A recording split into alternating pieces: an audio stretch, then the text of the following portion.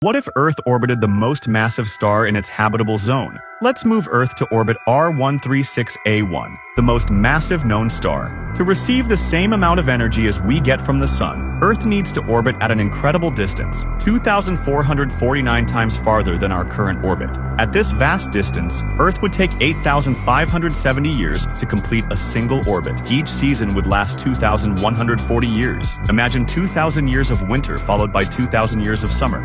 The star would appear as a tiny but blindingly bright point in our sky, bathing Earth in intense ultraviolet and X-ray radiation. Even at this safe distance, the star's powerful radiation would break apart water molecules in our atmosphere. Its stellar winds, billions of times stronger than our sun's, would strip away Earth's air despite our magnetic field's protection. Any life would struggle to survive these harsh conditions. Our massive star is near the end of its life. In less than 2 million years, it will explode as a supernova, ending any chance for life in this system.